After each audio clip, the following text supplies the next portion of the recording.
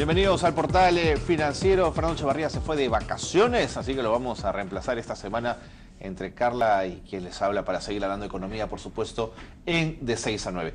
En dos semanas va a vencer el plazo para realizar el depósito de las CTS. Primero, ¿quiénes deben abonar ese depósito? Y segundo, ¿quiénes son beneficiados con este? ¿Y cuál es el sentido de la CTS? ¿Se ha desvirtuado o no se ha desvirtuado en el tiempo? Estamos con Jaime Cusquén, laboralista y especialista, por supuesto, en estos temas. Bienvenido, señor Cusquén. Gracias por estar con nosotros. Muchas gracias, Carlos.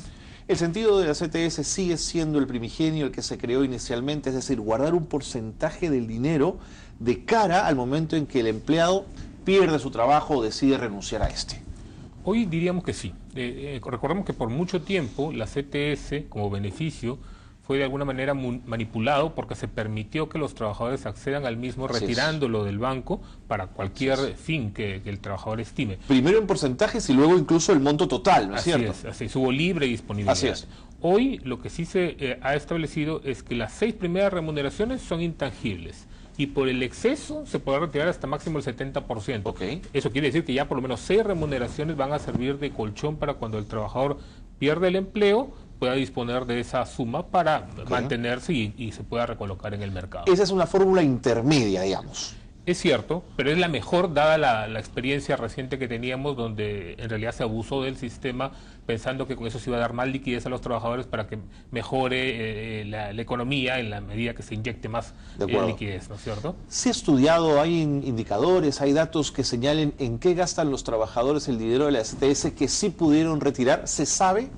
Como en general cuando se paga un beneficio adicional es en pagar deudas, ¿no? En pagar este, deudas, es eso, es eso básicamente, o sea, no hay un, fondo de, no, hay, digamos un destino de ahorro que sería lo mm, ideal, ¿no es cierto? Mm. Por eso que la CTS también constituye de alguna manera una especie de ahorro forzoso que el Estado ha previsto y que ha regulado, pero con un objetivo adicional, ¿no? Que prever que cuando el trabajador pierde el empleo, necesita dinero. De acuerdo, de acuerdo.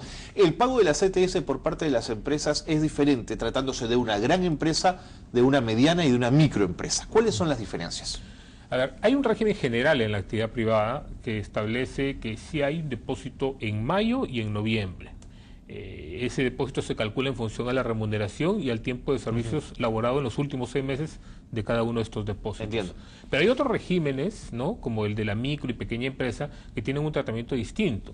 Eh, para mencionar, en la microempresa, por ejemplo, no hay CTS. No hay. No hay CTS. En la pequeña empresa sí hay, pero disminuida, en un 50%. Okay. ¿Y pequeña empresa entendemos máximo 10 trabajadores? Ya no. Hoy ya la, pequeña empresa no se mide en función al número de trabajadores, sino a niveles de venta. Hasta hace poco era por número de trabajadores. El nivel de venta es de 110 mil soles aproximadamente, o hasta 110 mil soles, eh, para tener acceso a este régimen. Pero ojo que este régimen implica para la empresa registrarse, ¿no? Registrarse ante la zona Así que es un registro especial para que pueda utilizarse este régimen. O sea, si no está inscrito en, este registro, no puede utilizar este régimen especial. Pero cien mil y pico soles no me suena a empresa ni micro ni pequeña, me suena a empresas más grandes. En, realidad estamos hablando de, en micro y pequeña empresa, dos niveles. ¿no? La microempresa puede llegar hasta 555 mil soles en el año, de ventas en el año.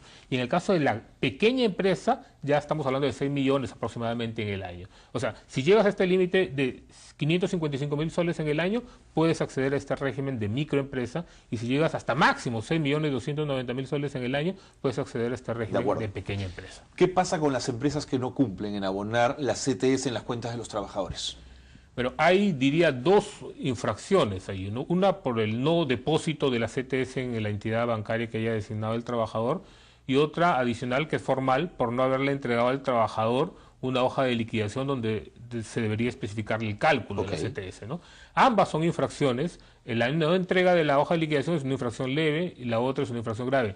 En ambos supuestos, el trabajador puede solicitar al Ministerio de Trabajo que vía inspección se verifique esta, esta infracción y se sanciona al empleador. Entiendo. Hoy las multas oscilan entre 18 mil y 37 mil soles dependiendo del, del, número de trabajadores afectados por el incumplimiento. No parece tan grande la multa, ¿no? Por eso, a eso iba, porque Hoy, con el cambio ya de la SUNAFIR, que es la Superintendencia Nacional de Fiscalización Laboral, se pretende sancionar con un monto mayor, ¿no? O sea, ya mm. hacer más disuasivo el, cumplimiento para generar no solamente que se cumpla, sino que se, beneficie al trabajador, ¿no? Entonces, las multas sí se han disparado.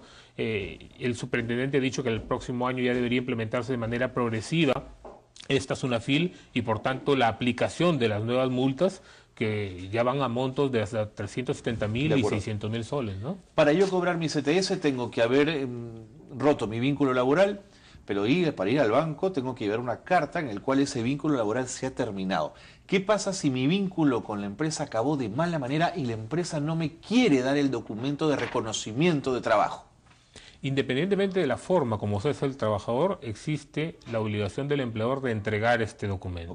Esto quiere decir que si no lo entrega, eso es un incumplimiento de la norma laboral también sancionable. Así yo haya sido un mal trabajador, que haya hecho pillería y media, ¿tengo derecho a esa carta? Así se haya despedido por falta grave, ¿no? Este, que implica una mala conducta del trabajador, igual el trabajador tiene derecho a retirar la CTS. Una última pregunta, ¿por qué los estatales no están en este plan, en este régimen? Porque tienen un régimen distinto, un régimen especial eh, el Estado como empleador ha decidido que la CTS se va a entregar solo al final del vínculo laboral, es decir, no se van a realizar depósitos semestrales, si bien puede tener ciertos cuestionamientos, lo cierto es que como Estado, como empleador, tiene una naturaleza distinta y por tanto ha decidido que estos montos se manejen de una forma distinta en función a la provisión presupuestaria que también es otro otra característica que debe tener el Estado para el manejo de los fondos que se trata finalmente de recursos de todos los peruanos, ¿no? No es menos gasto anual depositar en partecitas que depositar al final de un vínculo laboral que puede ser de muchos años. En la medida que el Estado